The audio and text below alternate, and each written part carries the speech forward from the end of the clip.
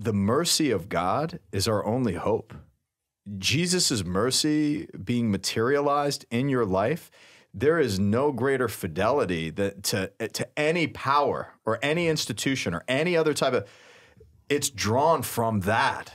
When mm-hmm. Jesus lifts you up and unburdens you from your sin, when Jesus loves you at your deepest, darkest moments, like that. You know, I'm getting, I'm I getting love it. right now, man. But I mean, like that Yeah. is why there's faith in the church. And Yeah. that at the very core of the Eucharist, on top of that, not only does he pick you up Mm-hmm. and carry you, he gets so deeply rooted inside of you, Right. he is within you. But that's the beauty of it, man.